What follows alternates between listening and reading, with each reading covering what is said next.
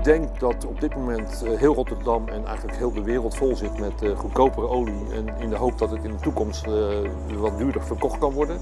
Waardoor er heel weinig tanks uit, bedrijf genomen kunnen worden.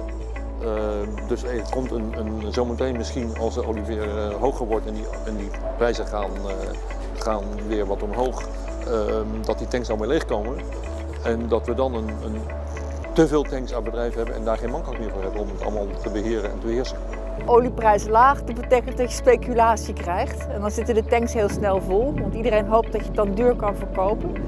Voor, voor mij mag dat eigenlijk geen directe invloed hebben. Ik bedoel, ik ga over HSE, dus die veiligheid die moet gelijk blijven wat de prijs van de olie ook is. De lage prijs van de, van de, van de olie, de dollar met name, die, dus de olieprijs dat heeft een enorme impact. We zien natuurlijk dat uh, nu voor de olie eigenlijk de meeste tanks echt een uh, toegenomen bezettingsgraad hebben. De, olietanks staan eigenlijk vol. En we zien voor de rest van het komend jaar 2015 dat we gewoon een goed jaar gaan draaien. En ziet eruit dat zelfs het begin van 2016 nu ook al betiteld wordt als, een goed, uh, als goede cijfers voor Volkswagen.